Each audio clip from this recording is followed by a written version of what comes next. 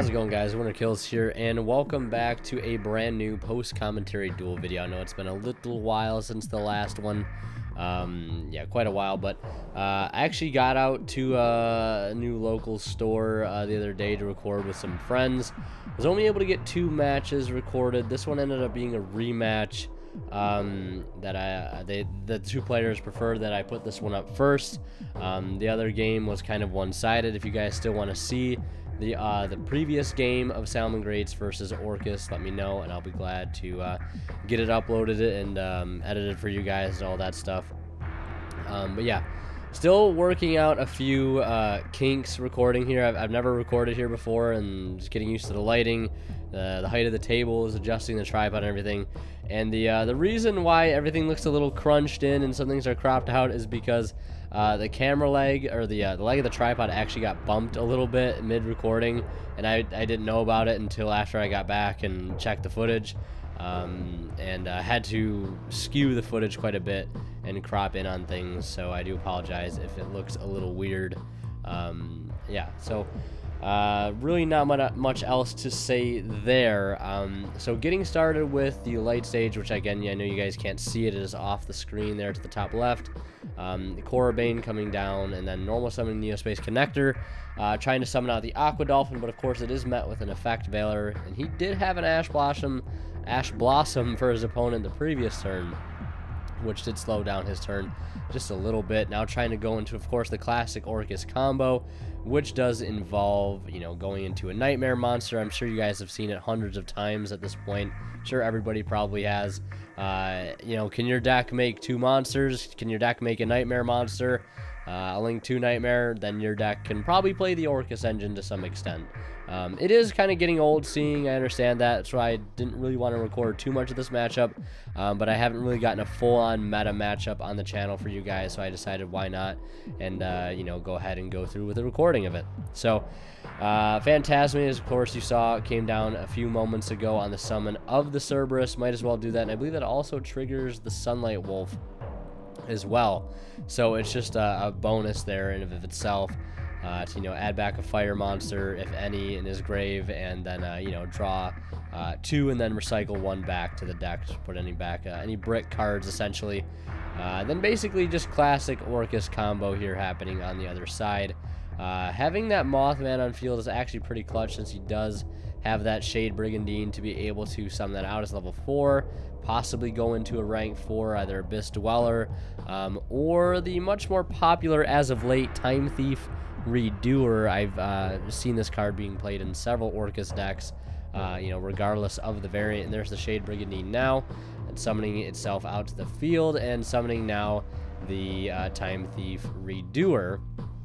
And uh, using, I believe, Cymbal Skeleton there, and that does get met with the uh, Haunted Mansion, Ghost Belle and Haunted Mansion, I believe. Uh, so that will negate that effect of summoning out from grave. I believe that's the hand trap that he pitched. Again, the graveyard is a bit cropped off, and I do apologize for that. Um, literally, I started recording, everything was all lined up, and then the, the camera lag got bumped, um, and I didn't know about it till till much later, um, and I do apologize for that again. Um, still, though, uh, being able to use World Wand to revive out that cymbal skeleton, putting it back in his grave after linking with it and the Phantom Knight uh, boots, going into Galatea, setting up his field spell with Galatea, and then last but not least, going into Dingirsu.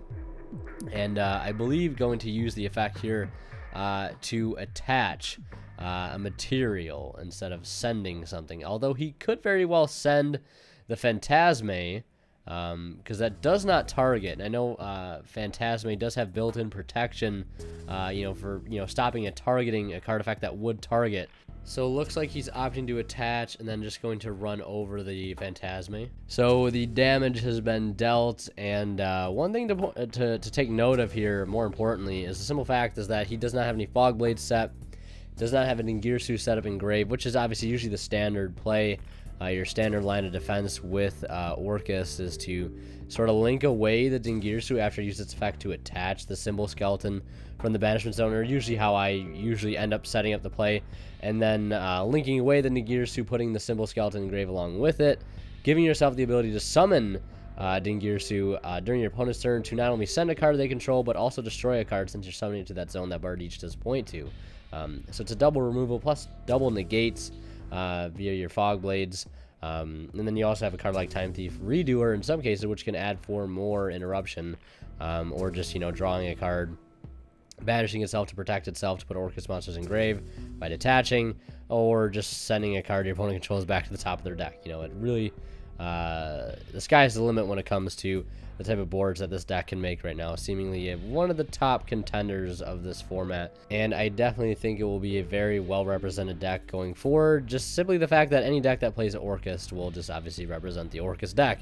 Um, whether you're playing whatever engines it is uh, that go along with it, you know, it's just still ending on pretty much the same board at the end of the day, give or take one or two choice cards, depending on said engine you play with it. So he did get started with the uh, Circle and then into Gazelle and then I believe dumping the uh, the Foxy.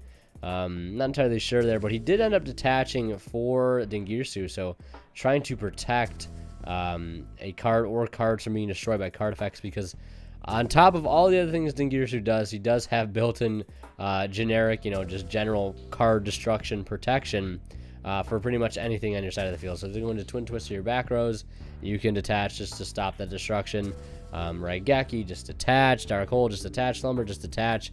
And protect pretty much everything on your side of the field. A very, very strong card all around. Pretty much a perfect, uh, you know, piece to the puzzle for Orcust at the end of the day. Um, so he will be going into Sunlight Wolf and spinning back the Dingirsu with uh, the effect of Mirage Stallio and uh, linking here into another copy of Sunlight Wolf and then using the uh, Jack Jaguar to recycle uh, the Sunlight Wolf back to the extra deck to summon it to the zone that the uh, Sunlight Wolf points to, adding back two cards there, a Fire Monster, then adding back a Salamangreat Spell or Trap. I believe adding back a copy of Roar or Rage, not entirely sure which one it was. Um, and I also did have to speed this video up quite a bit because it was an hour long uh, before I did any editing to it. So I did have to speed it up down to about a half hour so we wouldn't be here all night. Because um, I like to I like to let the videos go a little longer um, sometimes, but if you know commentating things and just uh, you know video length in general, I think an hour is just a bit too long. Uh, and then end phase here, you'll see him using uh, Cymbal Skeleton, and it looks like Orcus Knightmare to a Foolish uh, Wand, and then obviously Cymbal Skeleton uh, reviving the Galatea, and then using the redoer here uh, to draw a card and then banish itself to the next standby phase, I believe.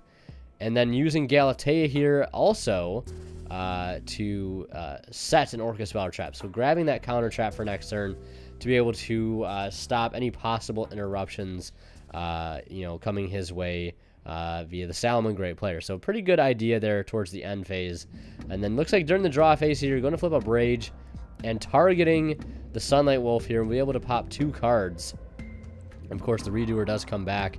Uh, going to try and pop two cards here, though, off of the Salamangreat Rage, since I believe that uh, Sunlight Wolf was summoned using its own name, um, and uh, so he's going to use uh, Crescendo there to try and stop the Rage, and then Rage is stopped by Roar, another counter trap. So uh, quite a few cards uh, out of the way there for both the Orcust and Salamangreat player. Mainly just one uh, for the, uh, you know, the Salamangreat player, but pretty smart, uh, you know, to grab that counter trap because not only did it clear the rage, um, obviously by negating it, but also baited out the roar, and then you will have a twin twister here. Of course, that twin twister um, is going to hit the field spell and the set circle, but it looks like he's going to just chain uh, circle to target something will make, to, make it unaffected uh, by, I believe, monster effects this turn. I think that is the clause that it gives.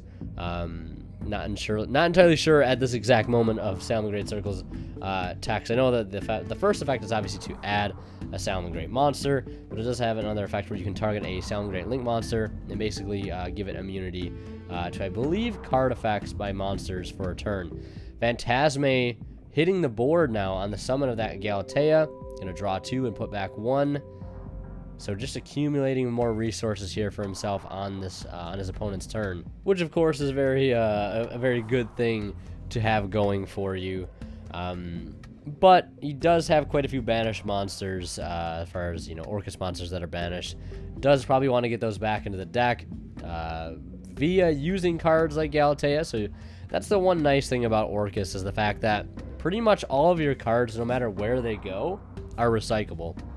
So even if your cymbal skeleton gets called by um, or whatever, if something gets banished off an invocation or whatever, if it's something just gets banished, period, uh, pretty much any of your link monsters can uh, just put them back into the deck to be reused later, um, which is it's it's strange because it feels like the deck is uh, isn't really in a bad spot no matter where it may where its main pieces lie.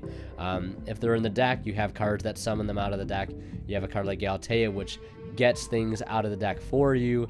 You have, um, you know, cards that summon things out of the grave. Uh, things that summon things out of the banner zone. Things that recycle things from the banner zone back to the deck. Um, and you even have a card like Dingirsu, which potentially can get things back from your banner zone back to your graveyard. Um, so it's very, very, very versatile in how it deals with managing its resources, so long as it's played, uh, you know, correctly to a certain extent. Um, you're really aren't limited to where any of your main pieces lie. If they're in your grave, you can manipulate them to be either banished or back in the deck, you know, vice versa for every other situation. Um, it's just a, pretty incredible archetype all around. Um, and looks like he's going to uh, summon out the Orcust Knightmare. Also, I believe normal summoned the Harp Horror. And then going for Borrelsword here. Uh, looks like he's probably just trying to finish this game, and that might uh, be exactly what he's going to do. Because he did take quite a bit of damage earlier on in the game from those three monsters, the Dingirsu, the uh, Redoer, and the Bardiche. But yeah, it looks like that's going to be it right there. Uh, Borrelsword signaling the end times are near, uh, really in any given situation. Borrelsword is a very menacing card. Salamangreat Circle uh, being played to get things started here for the Salamangreat player. Here in game two, adding Spinny, uh, of course, from deck to hand. And now trying to ideally establish that very defensive board that we know that Salamangreat is very, very capable of putting up, whether it be through traps or just sheer amounts of hand traps um, is, you know, going to be the determining factor here. So going for Cynet Mining and discarding a card to add a copy of Gazelle. Now, if he has Spinny, uh, and he ditched Spinny off of that, uh, this would actually trigger Gazelle uh, based on how the timing of it all works. So not only does he get to search Gazelle uh, off the Cynet Mining, but, you know, through using Cynet Mining, he will get the uh, Spinny Engrave for free, pretty much. Very, very powerful card for Salamangreat, as we know.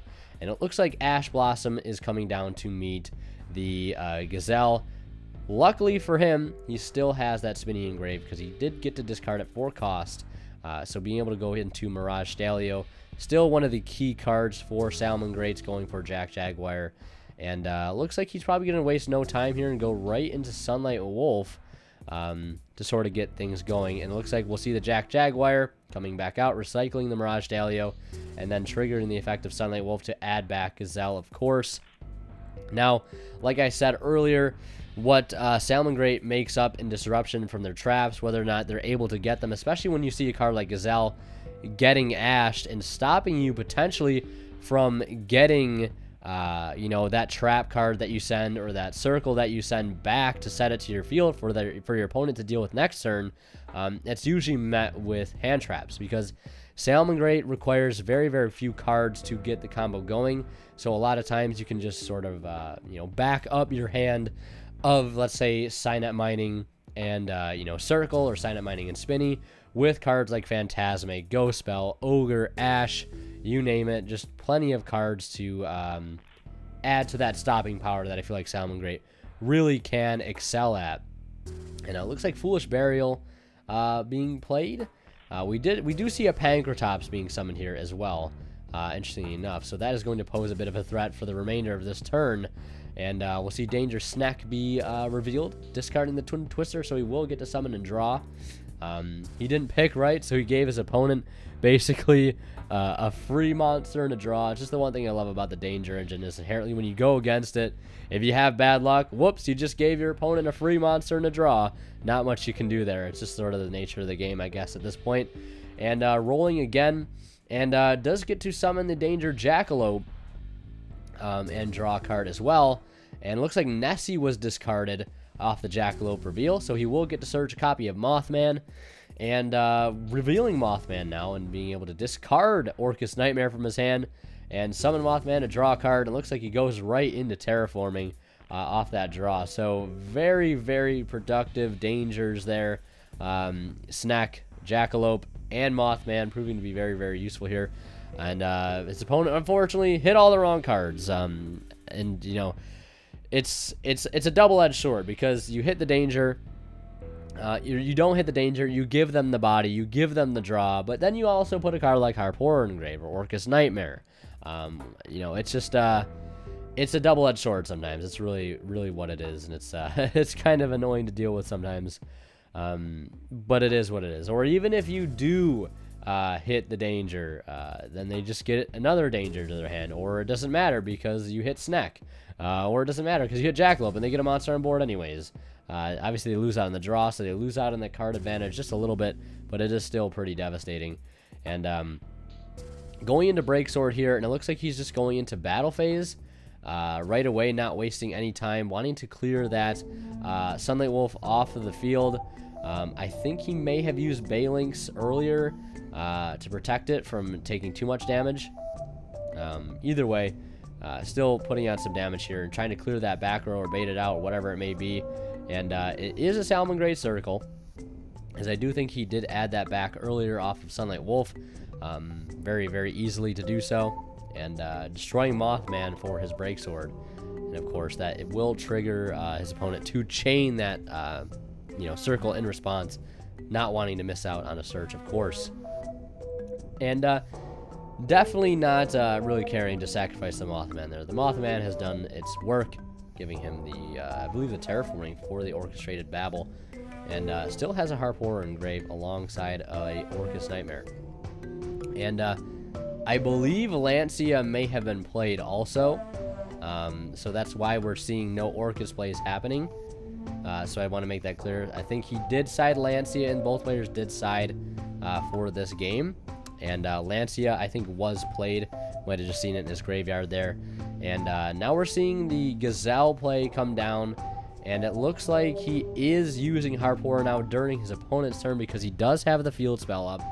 Going for Cymbal Skeleton, wanting that card out of the deck because I believe in most Orcust players' opinion, that is a card you really don't want to draw for the most part. Um, I know some builds play two, some builds only playing one at the current time. Just because that's the card you want to like summon off of your harp horror after you've sent you know sent your harp horror to the grave with your nightmare sort of that chain uh, of cards being played. And now it looks like he's using Orcust Knightmare perhaps targeting his Pankratops uh, it's possibly boosted up by quite a few points here if he does decide to send the World Wand. But it looks like he's sending another copy of Harp Horror to boost something up by 400 points. And uh, that's definitely not bad 400 uh, points of uh, attack boost. Definitely better than a sharp stick in that. Yeah, there's that Lancea engraved, so can confirm that he did Lancea, obviously. And then we'll see the Foxy taking out the field spell. One of my dreaded enemies. Uh, I remember the one tournament I went to playing uh, Orcust against Salamangreat before Dane came out. Um, I think it was just after Savage Strike. And my biggest enemy playing against this deck was always the Foxy kept picking off the field spell, and it was just very, very, very annoying to keep dealing with. Um, Jack Jaguar getting back the Gazelle from Grave, uh, and of course recycling a card at the same time. Now trying to see uh, what he can do here. Uh, that Lancea did slow his opponent down quite a bit. Still has to worry about that Pankratops though, uh, which could prove to be a problem at any given moment. And going to use Roar on the summon of the, uh, the Salamangreat uh, Sunlight Wolf, and then using Sunlight Wolf's other effect to add back Rage. And now we're seeing Spinny come out and go into Mirage Stallio. So the the summons, they just keep on happening. And uh, going for Falco. Now going for the Heat Leo. And uh, setting back uh, a copy of the uh, Salamangreat Circle, playing the field spell now, linking into another copy of uh, Salamangreat Heat Leo to use its other effect to be able to target a monster on his opponent's side of the field and basically make its attack equal to the attack of one of the monsters in grave. Quickly chaining now that Pankratops before things get too risky and uh, popping one of the back row. I believe it was the Roar, so that will get banished because it was set uh, by that effect of uh, its own effect written on the trap card. I believe anytime a Salamangreat monster is link summoned using uh, its own name as material while it's in the grave, uh, you can set it back. Um, and that will prove just to be too much uh, for his opponent to try to go into next turn. Uh, already having a pretty established board and being pretty low on life points. Now, this one got started a bit late. Um, they were a little bit anxious trying to get into their third game, and I um, wasn't aware that they were starting. Uh, luckily, we didn't miss too much. Foolish Burial for Orcust Knightmare, and uh, I believe just dumping a uh, Harp to the grave off of a Danger, and setting up a standard uh, Orcust play going into Cerberus, then following suit into Knightmare Mermaid. And um, now using Harp Horror, and it's met with the Ash Blossom, but his opponent is quick to respond immediately with Call by the Grave, not wasting any time, just going for it, no questions asked. Definitely want that Harp Horror to go through to summon that Cymbal Skeleton, a crucial part in the combo. And uh, now Galatea is on the field, and uh, proving to be the start of what will most likely be a standard Orcus combo. Again, I, I like I, I play again play against it on stream all the time, and uh, I think for the couple hours that I was here the other day, um, I think I only played against Orcus the entire time. Uh, probably give or take one match, um, and it's just it's mind numbing to watch the same combo over and over and over and over and over again. Um, but it is what it is. That's just I feel like every now and then in the game of Yu-Gi-Oh we have a deck that sort of comes along that becomes the best deck, and it just has that same long drawn out combo um, that all of us dread at the end of the day. But, you know, not much you can really do other than just sit back, play your hand traps, or if you don't have any hand traps, just sit back and think. That's really all you can do is just use that time your opponent's comboing just to think, relax, um, or get tilted. I guess if it's the, you know, 100th combo you've seen that day of the same Orcust combo, maybe you're going a little insane, not entirely sure. Um, but yeah, just relax, think, see if you can actually have any chance at disassembling that board uh, come time for you to draw for turn and try to uh, make a play yourself while your opponent plays solitaire. So uh, now going into Dingirsu here, going to attach the cymbal skeleton. Now using Boots Engraved to go ahead and grab another copy of Fogblade. So not forgetting this time around here in Game 3 to go grab his uh, arguably the most powerful components of the Orcus, uh, you know, going first board, which is the back row. Um, not only is it setting up a card like Dingirsu Engrave, um, or perhaps just leaving Dingirsu on board to protect your back row from destruction, or just protect any card in general from destruction. Um, so yeah, four set back row, Dingirsu and Bardiche on field. Uh, a very, very solid ending board. And uh, we're starting off our turn on the Salamangreat side of things with Cynet Mining grabbing Gazelle, and then going right into Pot of Desires. Make sure he wants to uh, not only deck thin uh, before he draws, but also make sure the uh, chance of him banishing all of his Gazelles is completely reduced to zero um, by, of course, grabbing that one off of the Cynet Mining. Very, very cool to see Cynet Mining in action here, though, uh, for Salamangreats. It's definitely a very, very strong card. Foxy coming down and linking away into Balelynx, going for the Gazelle trigger and of course grabbing the field spell. Um, and uh, yeah, grabbing the field spell here. Now uh, I think he's going to use the effect of uh, Gazelle to send. Of course, the effects of Balelynx uh, resolve. Um, I think it goes like Balelynx 1, Gazelle 2, and then he goes to activate Gazelle here to send, and it looks like it's being met with a Fog Blade. So, of course, no cards being sent to the graveyard. He does know that he does have to play into some back row, obviously. That's the one advantage about playing against a deck like this. At least you know what back row are set. Um, at least you know, in most cases, where the back row is set also to begin with. Um, especially cards for the Fog Blade. That first Fog Blade, you know where it's set. Same thing with Crescendo. You know where it is set. Uh, so it does give you a bit of advantage going into that field uh, as opposed to just being blind, you know, guessing which card is which. And uh, that Foxy returning with a vengeance to clear that uh, Fog Blade. And now going into a Mirage Stallio, summoning out a, the uh, Spinny, which I believe he has not used uh, this turn. And now we're seeing a copy of Will of the Salamangreat, And, uh, or perhaps not, deciding here uh, what he wants to do. He still has to play through quite a few cards on his opponent's side of the field. Just thinking if there's sort of any other way uh, to bait things out before he goes into sort of that pseudo soul charge slash monster reborn. Um, and looks like he wants to link. Not sure which cards to use at this given point. Will it be the Mirage Stallio and the Balelynx? Looks like it will be. Going in for Sunlight Wolf. Now having the opportunity to spin back that Dingirsu. Which is nice, because now that he's spun the Dingirsu, he does not have to worry about it uh, coming back from the grave this turn.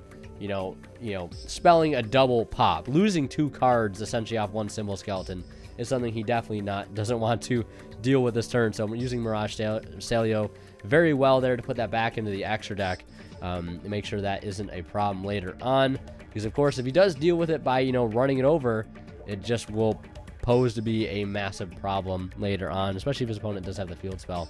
Um, now going into Heat Leo, trying to spin that back row. And it looks like it will go through. And if it was Crescendo, it's useless now because there's no uh, or uh, Orcust Link monster on his field, or if it was another Fog Blade. Uh, not entirely sure. We least know for a fact that he at least did have a, possibly a double Fog Blade uh, off of the Bardiche. Obviously, there is a Boots banished, um, so we would assume there would be at least two Fog Blades down on his opponent's side of the field. Obviously, we know one has been exhausted at this point. Now going for Sanctuary and going for a second copy of Heat Leo. And using its effect again to spin back another back row. Very, very nice card there. Just being able to remove tons of back row. Um, just uh, by getting that card out on the field. Now we're going to see Will of the Salamangreat. Uh, now that he does have a Link 3 uh, on his field, he can bring back uh, lots of cards, but looks like just opting to go for another copy of Heat Leo and uh, swinging in for as much damage as he can uh, with both Heat Leos. And it looks like uh, possibly main phase 2 using that Fog Blade to bring back Bardiche uh, to give himself an arrow to go into next turn. And if he does summon Ningirsu, he does have the arrow set up that he needs to be able to uh, clear two cards. So, um, which is a pretty good thing to have going forward. Uh, the only thing our Orcus player has to worry about at this point is a potential barrage of hand traps, uh, potentially Gazelle as well coming down to trigger, uh, you know, gaining some advantage during his turn while he tries to combo. Cymbal Skeleton being activated, going for uh, the Galatea here.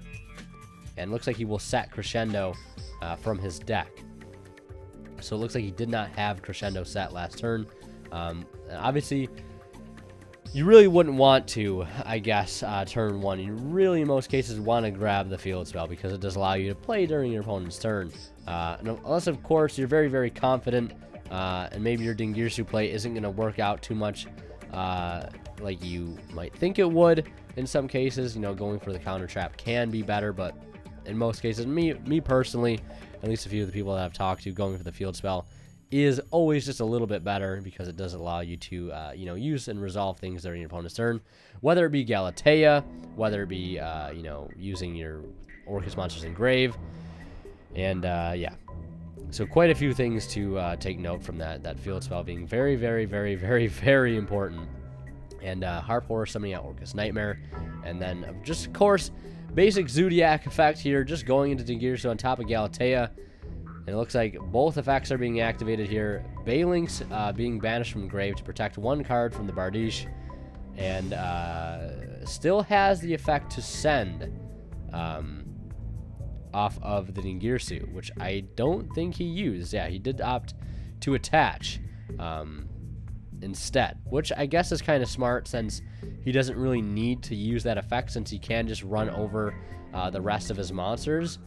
Uh, with the Dingirsu, instead of using that effect to send something, he does get that added effect the added bonus, essentially, of getting the uh, Dingirsu engrave here with the cymbal skeleton. Now terraforming being played uh, to grab a uh, pops, perhaps another copy of the field spell. I don't think he'd want to be going for light stage this late in the game, especially since there are no back row to uh, try and lock down. Um, graveyard right there. Not looking too great. Double heat Leo, and I think both Balelynx are now gone. And it looks like during the draw phase here, we will see Dingirsu uh, come down, and it looks like Bardiche will be using its effect uh, to destroy the Will of the Salamangreat, and obviously not wanting to send anything with Dingirsu since there are no other targets after that. Uh, Bardiche effect resolves. He will just attach the uh, the the cymbal skeleton, uh, giving it a material, which is pretty important because it allows his Dingirsu to be able to protect from Foxy coming out of the grave, uh, which eventually would have spelled losing one of his back row, uh, which allows him to keep a crescendo, which is very, very key here. Ash Blossom on top of that coming down for the Gazelle. Really just not a whole lot you can do at this point, but it looks like he does have a Salamangreat Circle. Really going back and forth at this point. I think uh, one of those games that could potentially be in either player's hands, uh, given, you know, one or two cards, you know, and it could be any unexpected card at this given point. I wasn't really expecting the Ash Blossom to come down for the Gazelle, especially when you already have to worry about a card like uh, Crescendo being set, uh, and that it, that it is live, also because he does have a Galatea, which is just uh, something to keep in the back of your head, especially when you're like, I know when I play against Orcust all the time, it's just like, I know they have all these interruptions. It's just like, how can I play around them? Can I play around them? How many resources will I have left at the end of the day? Um, you know, at the end of the play, I guess, is what I should be saying. Um, so yeah, did lose out on the Gazelle Send, but luckily he did have Circle to sort of, uh, you know, lessen the damages, if you will. And then we'll see Spinny trying to come out and then activating the copy of Sunlight Wolf. At least attempting to. And it will be met with the Crescendo, uh, which looks like will be the final nail in the coffin. Also still had another copy of Fogblade set. That was his opening hand, I believe. Uh, not the greatest, but uh, at least tried to make it work.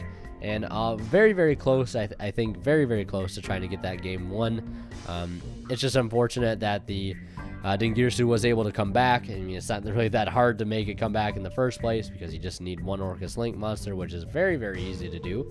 Um, it's very, very easy, especially with Cymbal Skeleton, uh, you know, being in the game. Uh, it's just hard, hard, hard board to break at that point when all the pieces are set and everything is just waiting there to stop any try any play you try and make, especially when you add in a hand trap on top of that, like that Ash Blossom, um, which potentially I think was what pushed it over the edge. If he didn't have the Ash, uh, he might have been forced to use the Crescendo of the Fogblade on the Gazelle, and then he has to worry about stopping the, uh, you know, the uh, the Circle, which leaves him with potentially no backer left, trying to at least make some sort of play happen, leading to potential comeback. But who knows? Uh, like I said, I have another game. Uh, it's a very one-sided game, but it's still a, uh, a match of Orcust versus Salamangreat. If you guys want to see that, same players. Um, uh, if you guys want to see that uh, video, let me know. I'll edit it, get it uploaded to you guys as soon as possible. And uh, yeah, hope you guys enjoyed. Uh, don't forget to check out Imperium Duelist uh, as well, down in the description below. And uh, yeah, as always, guys, Winter Killz sign out. We'll see you guys in the next one.